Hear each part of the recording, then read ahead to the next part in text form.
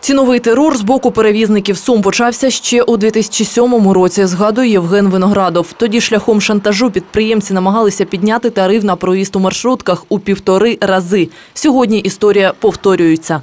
Когда 4-5 декабря м, э, случились забастовки и э, 70 или там э, 60 процентов перевозчиков м, отказались выезжать на городские маршруты, а часть из них все равно согласилась и продолжали работать по цене 2 гривны. Они и сами это утверждали, что все-таки этот э, тариф на проезд, он вполне обеспечивает не только все затраты, которые перевозчик несет, а их там несколько, я же говорю, 35%, но и получает определенную еще и прибыль. Додає, перевізники диктують свої умови, а з боку мера і членів виконкому немає чіткої позиції та бажання протистояти економічному тиску перевізників. Э, На начальном этапе, когда мы проводили какие-то переговоры с э, мэром города Сум, с его заместителем Бортником, они в нас видели каких-то союзников и, в принципе, принимали нашу позицию.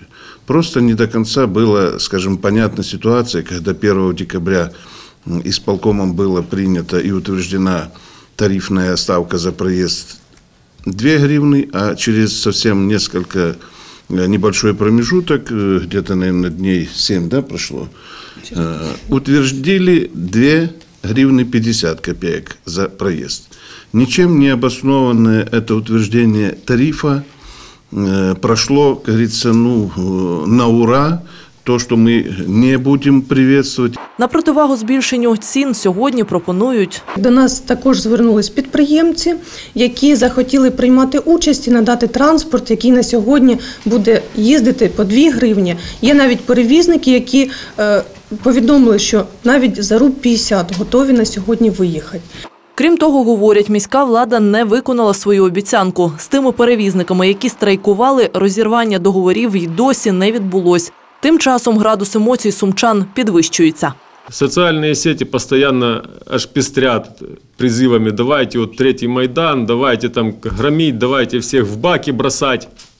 Вот задумайтесь сами для себя, чем вот это вот может превратиться. То есть есть какой-то стихийный митинг, да, то есть пришли ли- отстаивать транспортную проблему жители города Сумы. Приходит 100, 150, 200 проплаченных человек и говорят, давайте мэра в бак или заступника, да, или кого-то еще. Ну, вот начинается штурм админздания. То есть, если он закончится просто потом радостными песнями и тем, что жители разойдутся, разойдутся по домам, это хорошо. Если он закончится выборами народного мэра, то это повтор донбасского сценария. Тому закликають городян діяти лише в правових межах. Громадська організація Євромайдан вже направила звернення до прокуратури СБУ та антимонопольного комітету України. Завтра ж спробують переконати у незаконності підвищення ціни на проїзд міських депутатів. Ніна Паустовська, Сергій Митенко, АТВ.